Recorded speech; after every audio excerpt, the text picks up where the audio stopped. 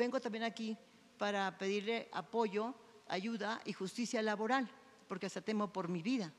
Porque se trata de un pleito que tengo seis años con él y que salió el auto a mi favor en la Junta Federal de Conciliación. Sin embargo, hace poco se fue, lo regresaron el expediente y en tres semanas salió en mi contra, absolutamente. Entonces vengo aquí a pedir ese apoyo, esa justicia. Y lo hago porque se trata de un personaje fuerte en política que no pretende pagarme ni mucho menos, ya está mentido en amparo, pero lo hago porque se trata de su senador con licencia, de su super coordinador de delegaciones y su candidato, próximo candidato a la gobernatura de Baja California, el licenciado Jaime Bonilla. La noche de este domingo fue asesinada la periodista Lourdes Maldonado López de un disparo en la cabeza en el estacionamiento de su hogar en el fraccionamiento Santa Fe, en Tijuana, Baja California.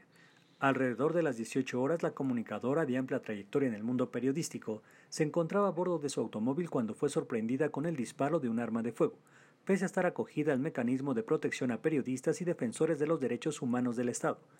Maldonado López había acudido a una de las conferencias mañaneras el año pasado a denunciar ante el presidente el temor por su vida. Apenas recién había ganado un litigio en contra del exgobernador Jaime Bonilla Valdés, que había durado siete años y se había presentado en las instalaciones de la empresa televisiva del exmandatario junto con su actuaria con una orden de embargo.